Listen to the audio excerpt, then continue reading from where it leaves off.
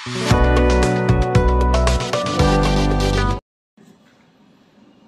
നമസ്കാരം. ഇൻഫോ കഫയുടെ പുതിയൊരു അറിവിലേക്ക് എല്ലാവർക്കും സ്വാഗതം.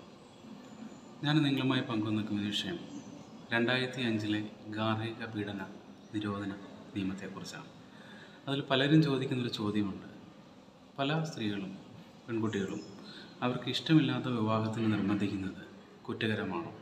അങ്ങനെ ഒരു സംഭവം ഉണ്ടായാൽ ആരെയാണ് സമീപിക്കേണ്ടത് എന്നുള്ളതാണ്.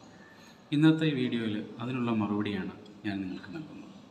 രണ്ടായിരത്തി അഞ്ചിലെ ഗാർഹിക പീഡന നിരോധന നിയമം വളരെ വിപുലമായ സ്ത്രീ സംരക്ഷണ പദ്ധതികളാണ് വിഭാവനം ചെയ്തിട്ടുള്ളത്.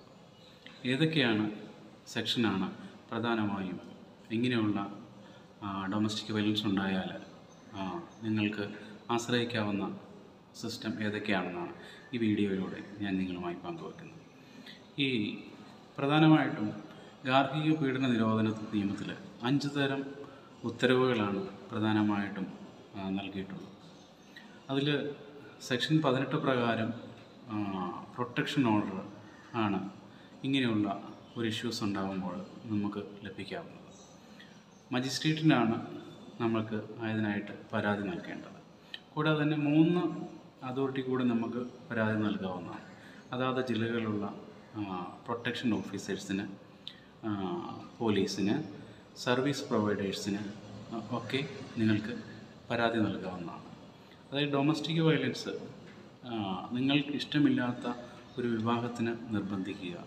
എതിർ കക്ഷികൾക്ക് ഇഷ്ടമുള്ള ഒരു വിവാഹത്തിന് നിങ്ങളെ പ്രേരിപ്പിക്കുക. ഇങ്ങനെ ഒരു സംഭവം ഉണ്ടായിക്കഴിഞ്ഞാൽ നിങ്ങൾക്ക് പ്രൊട്ടക്ഷൻ ഓഫീസ് അതായത് എല്ലാ ജില്ലകളിലും പ്രൊട്ടക്ഷൻ ഓഫീസർമാർ ഉണ്ട്.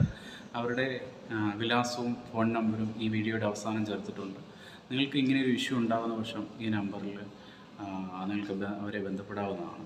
അതായത് ഇങ്ങനെ ഒരു ഇഷ്യൂ ഉണ്ടാവുകയാണെങ്കിൽ നിങ്ങൾക്ക് മജിസ്ട്രേറ്റിന് സെക്ഷൻ ട്വൽവ് പ്രകാരം മജിസ്ട്രേഷന് നേരിട്ട് കംപ്ലൈന്റ് നൽകാവുന്നതാണ്.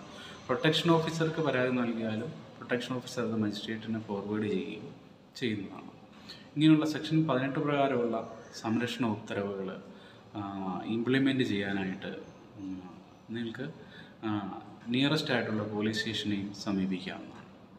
സെക്ഷൻ മുപ്പത്തൊന്ന് പ്രകാരം ഇങ്ങനെയുള്ള സംരക്ഷണം അതായത് നിങ്ങൾക്ക് ഇഷ്ടമുള്ള ഒരു വിവാഹത്തിന് നിർബന്ധിക്കുകയാണെങ്കിൽ നിങ്ങൾ മജിസ്ട്രേറ്റ് പരാതി കൊടുത്തു കഴിഞ്ഞാൽ നിങ്ങൾക്ക് എതിർകക്ഷിയെ എതിർ കക്ഷിയെ അങ്ങനെ ചെയ്യുന്ന വിലക്കിക്കൊണ്ട് മജിസ്ട്രേറ്റ് സംരക്ഷണ ഉത്തരവ് പാസ്സാക്കുന്നതാണ്.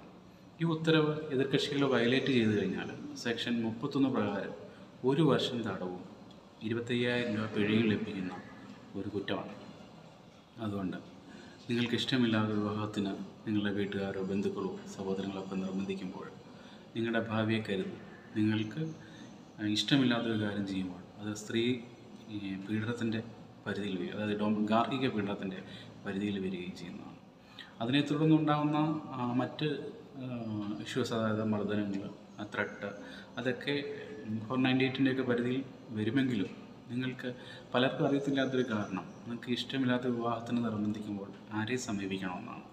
ആ ഈ സർവീസ് പ്രൊവൈഡേഴ്സിന്റെ അല്ലെങ്കിൽ പ്രൊട്ടക്ഷൻ ഓഫീസർമാരുടെ അഡ്രസ്സ് ഞാൻ ഈ വീഡിയോയിൽ ചേർത്തിട്ടുണ്ട്.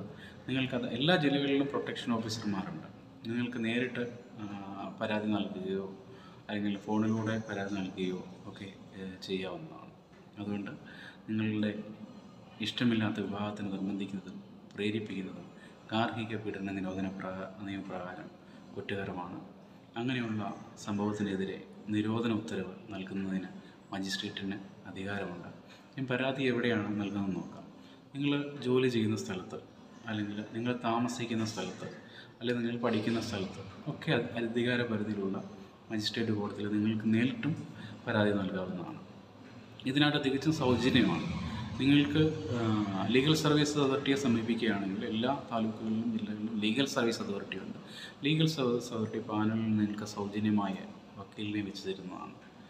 തീർച്ചയായിട്ടും ശക്തമായ ഉത്തരവാണ്. നിങ്ങളെ ഇഷ്ടമില്ലാത്ത വിവാഹത്തിനായിട്ട് നിർബന്ധിക്കപ്പെട്ട പലരും ജീവിതം അവസാനിക്കപ്പെടുന്ന ഒരവസ്ഥ ഉണ്ടാകാറുണ്ട്. അതിന് ശക്തമായൊരു മറുപടിയാണ് ഗാർഹിക പീഡന നിരോധന നിയമത്തിലെ പതിനെട്ടാം വകുപ്പ്. നിങ്ങൾ നിങ്ങൾ ഈ അറിവ് നിങ്ങൾ നിങ്ങളുടെ സുഹൃത്തുക്കൾക്കും മറ്റുള്ളവരുമായി പങ്കുവയ്ക്കുക. വീണ്ടും മറ്റൊരറിവുമായി കണ്ടുമുട്ടും വരെ നന്ദി നമസ്കാരം.